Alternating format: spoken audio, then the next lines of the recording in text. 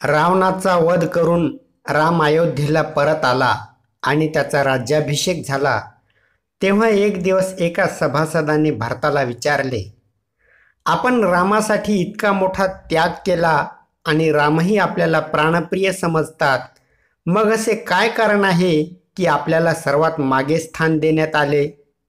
भरत म्हणाला जे झाड कडू असेल त्याची सर्व पाने फुले फळे कडू असतात.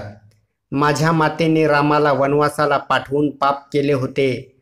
तिचा पुत्र असल्यामुळे त्या पापाच्या कडवटपणातून मी कसा अलिप्त राहू शकतो? त्यामुळे मला मागचे स्थान देण्यात आले. जेव्हा सभासदांनी रामाला भारताचे हे विचार सांगितले तेव्हा रामचंद्र म्हणाले भारताचे हे विचार ठीक नाही.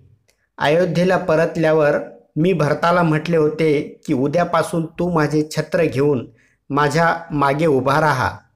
कोणीही राजा तोपर्यंत राजा राहू शकतो जोपर्यंत त्याचे छत्र सुरक्षित आहे. सभासद आता विचारात पडला की कोणाचे विचार खरे मानावे? त्याने परत जाऊन भरताला रामाचे विचार ऐकवले.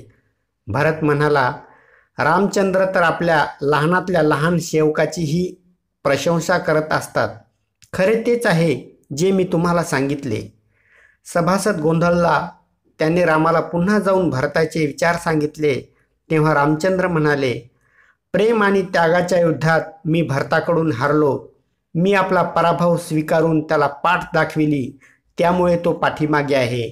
त्याचे मागे होणे हे त्याच्याच महानतेचे लक्षण आहे. तात्पर्य त्याग सेवा आणि भक्ती ही तीन सूत्रे धर्तीवर रामराज्य साकार करू शकतात. धन्य ते प्रभू रामचंद्र आणि धन्य त्यांचे बंधू.